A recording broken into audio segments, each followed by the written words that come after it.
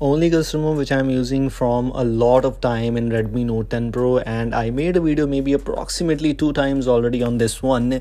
This is a custom ROM which I love on Redmi Note 10 Pro and I'll definitely recommend you to use this one it's just my opinion of course and i'm not telling i'm not forcing anyone to install this thing but it's just my opinion that this is still one of the best ever ROMs about Redmi Note 10 Pro. It's just my opinion as I just said. This is called Pixel Plus UI and it is the last build based on Android 11 3.11. You can see the maintainer name and this is the last version based on Android 11 and it was just awesome previously. It is awesome right now and it would also be awesome in the upcoming days and upcoming times for sure. It's just my thinking and I'm not just comparing with other ROMs but it's just my opinion that this one is far better better in the terms of performance in the terms of almost everything without root you can use this thing all the useful things are already included here so yes this is why it's good. Also it's just my thinking that it has all the pixel things available. So yes if you're a pixel lover then you might love this thing. It has a pixel launcher pre-installed as expectedly pixel launcher of course based on android 11 this custom ROM is based on android 11 so all the android 11 things are already there. If you need some android 12 features uh, like monet theming you can't get that as it is not android 12 so if you need android 12 go and install android 12 but if you have no issues with android 11 or android 12 but you need a good performance especially for the redmi Note 10 Pro users, you should definitely install this thing. This is one of the positive things about this one that you have the MIUI camera pre-installed. And yes, a lot of users were facing tint issues in this ROM. You don't have any tint issues at all. I tried, I tested. I sometimes record videos with this camera, ANX camera, which is already by default pre-installed.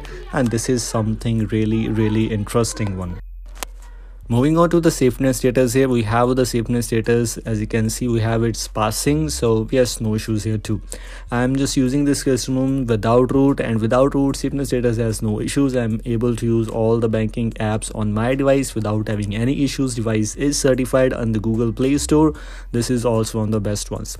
This might be the thing which I think so you will think about that it has the free and unlimited storage for Google Photos, but in storage, saver quality, of course, in the latest builds you have the original quality things but if you need that original quality you can get that by very easily with the help of a magisk module. I'm not going to talk about that later i'm not going to talk about that much.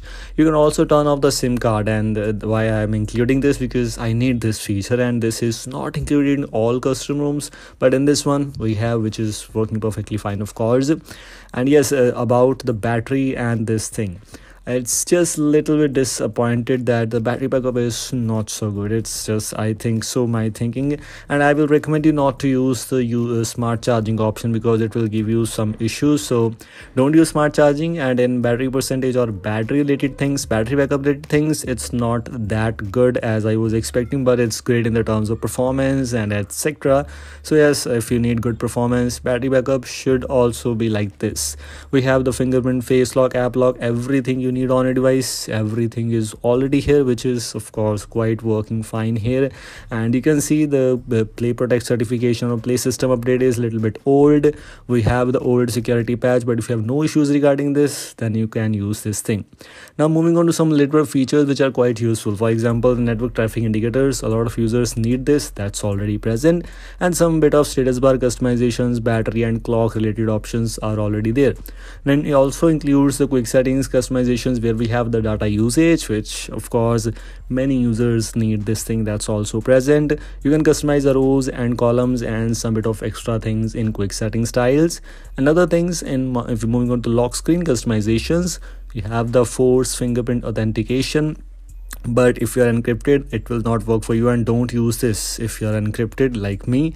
And power menu of course advanced power menu options are also present here which needs to be included in call vibration options some volume panel customizations where you can use the android 12 style volume panel which i'm using right now which is called shape shift and of course we have the gaming mode if you're a gamer you need this. It's already present here so i don't think so you might face any issues with this one. And we have some heads up customizations too.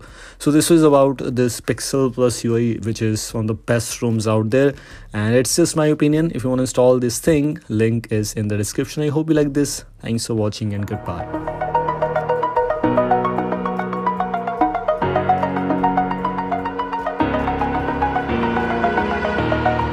Over the edge like I'm floating through the air.